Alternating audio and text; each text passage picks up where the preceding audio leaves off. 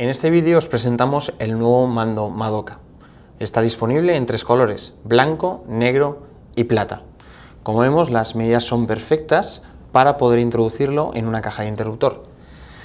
En la pantalla principal tenemos tres botones, botón de confirmar, botón de navegación hacia abajo, botón de navegación hacia arriba y por supuesto el botón de encendido que lo tenemos en la parte superior. Si apretamos, la unidad se enciende y se activa el haz de luz de color azul indicando que la unidad está en funcionamiento. Con el menú, con el botón de confirmar, podré acceder al menú principal y navegar entre las distintas opciones.